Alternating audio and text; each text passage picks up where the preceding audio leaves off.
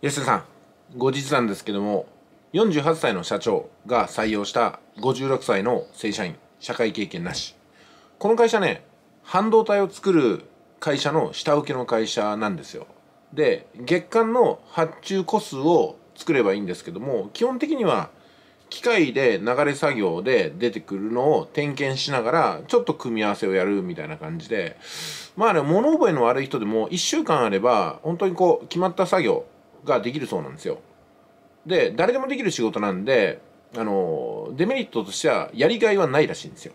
うん、あの自分でやりがいを見つけなければ本当に単調作業で何の成長もないしだからあ将来ねロボット化されるのはもう当たり前だろうというふうに言われてますね。でそこに今ね、えー、働いていらっしゃる方がいや40代半ばでもう十数年のキャリアがあるねキャリアっていうかね そこの仕事を受け持っていて給料も当然上がらないし安定してるけどもなんかつまらないそうなんですよ。で、え、社長はねこのままじゃこの LINE は止まってしまうしオートメーション化されて1人解雇しないといけないから新しい事業をしたいとか言ってそこの担当してる人を次のセクションに移したいんだけどもそうなると当面はそのセクションは誰か1人つかないといけないんで、まあ、今回の人をそこに当てれば多分1週間ぐらいで仕事慣れてものすごくやる気に燃えてやってくれるだろうし十分やっていけるそうなんですよ。でやりがいはないと。下手に就職経験があってあっちこっち仕事を知ってる人とかこれから5年先10年先成長してもっと新しいポストに就きたいって人にとってはこれは先がない左遷の場だから結構人を当てても辞めちゃうみたいなことが起きてたんですよね。で今担当してる人もやっぱ長い付き合いなんでやってるけどもこのままじゃ給料も上がっていかないしこれがあのロボット化されたらやばいからあ結局ロボットを導入して自分がいらなくなった時に自分が今度ステップアップしていける新しい職場を自分で作っておきたいっていうので社長と協力して誰かいないかねみたいな感じだったんですけども、うん、まさにね50代半ばでこれほどやる気に燃えた人でどんな仕事を与えてもその仕事があることに対してモチベーションがガンガンガンガン上がる人ってのはもううってつけだと。で悪い見方するとモチベーションが下がりそうな3年後くらいには多分まあ慣れてきてねもう感謝の気持ちも薄れてるだろうけどもその時には定年退職が近いってことでまあ最後まで頑張れやみたいな感じで残り1年だみたいなんで追い込みもできるだろうなっていうふうに考えてるそうなんですよ。プラスやっぱり経営者なんであのプラスが出ないようにしないといけないからその後ね他の仕事に回せるようだったら再雇用で60歳以降も採用するしそうじゃなかったら今まで社員としてお疲れ様じゃあ退職金ねちょっと年数短いから本当気持ちだけどみたいな感じで綺麗に別れることができるっていうところもやっぱりね裏ではあるって言ってましたね。でそれもいつかスタッフさんにその A さんにね今度就職された56歳の A さんに話さないといけないとは思うけども当面は仕事があることだけに感謝して働いてくれるみたいなんで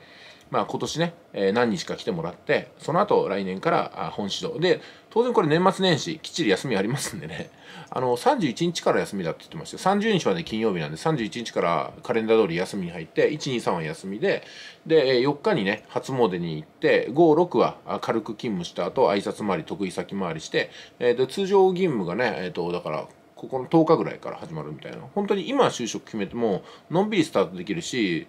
であの制服はあの新品ではないけども前働いてた人のこう、ね、作業服をあげるからみたいな感じでね。なんかすごいね56歳であこんな自分でもいいんだありがとうございますって感じで仕事があることに感謝して働いてくれて別に会社としては従業員から搾取してるわけでも何でもなくって本当なんか下請けの窓孫請けみたいな感じで会社自体がそんなにねあの取引先をたくさん抱えてってことはないらしいんですよ。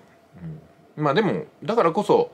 その今回56歳の人のサイズに合った会社と言えるのかなと。だから下手にね新入社員で来るような会社じゃないんですよねここは。だから人を採用するのにものすごく苦労してたらしいです。というのが若い人を採用するとやりがいがないから続かないし使うのも気の毒だし。でえー、っとね、えー社会経験がある人はなんだこんな仕事って感じでやっぱり確かにそんなに必要かなと思える作業ではあるんででも人を置かないとねやっぱり作業的に、え、危険もあったりとか不良品が納品されてもいけないんでっていうのでくすぐったいところらしいんですよ。そういうのがあるんだなってことですよね、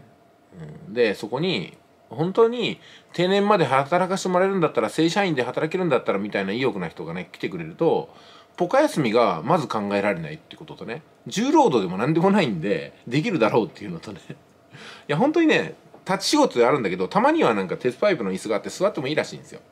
でたまに立ってこう作業してね。作業もそんなになんか継続するもんじゃなくてポンポンやるんでちょっとトイレに行って帰ってくるぐらいの暇あるし何だったらスマホカチカチやっても別に問題ないらしいんですよ一応職場のちょっと見栄えとしてやんないでほしいとは言ってるんですけどもまあね現実結構ちょこちょこみんなで動かしてるらしいんですよね。うん、で会社自体はまあそんなにね10年20年でなくなるものではないとは思うけれどもだからといって大きく発展する見込みもないと。でこれからいいニュースといえば半導体が国内産業になりそうなんでちょっと発注が増えるかもねとか思ってるらしいですけどね。本当にそんな感じであの田舎のね過疎地のうんなんか平べったい倉庫であのなんとなく出勤してタイムカードもなんか40年使ってるようなやつをカチャカチャ動かしてやってるようなねそんな会社ね、うん、で昼休憩は近くのラーメン屋に行ってまたチャーハン食べて帰ってくるみたいなほんと緩いところらしいんですよ、うん、なんかね、えー、4 5 0年前の昭和の基準で動いてるような会社らしいですからね、まあ、だからこそなんかねこの A さんも時間が止まってますから社会のと時間が。だから世の中に例えばねショッピングセンターにも行ってないんで洋式トイレが普及してることも知らないんですよ。今思い出したんですけど だからあの多分ねこの人はね電車を使うような人ではないんですけども JR の駅に行ったらびっくりすると思いますよ。わなんて駅って無人化されてる。え何これ？お金じゃないんだ。みたいなね。こうやってカード通しゃいいんだ。あしかもあの洋式トイレじゃないですか。しかも広いみたいなね。それこそ近くの公園だってまあね古めかしいトイレもありますけども洋式トイレでピシッと整備された公園もあるわけですよ。多分あらゆるものにカルチャーショック受けてうわなんてすごい世の中なんだってキラキラしながらね生きてると思いますよ。その感動を私たちはもう失いましたよね。世の中が少しずつ進化していく中でお新しくなったじゃん。お便利になったじゃん。の連続でね。今スマホみたいな奇跡のデバイスですらあんまり感謝することはなくなりましたよね。パソコンがあるのが当たり前。ネットがあるのが当たり前、うん、月末には支払いがあって当たり前。めんどくせえなと思いながら出勤するのが当たり前。全部当たり前で感謝を忘れたんですよ。でも社会人経験が二十数年ない人。この人は全てのものがうわなんて世の中だ。こんなに素晴らしい世の中に出ていかなかったなんてなんてもったいないんだ。うわおみたいな感じですよ今本当。ね。これが反動というやつです。いってらっしゃい。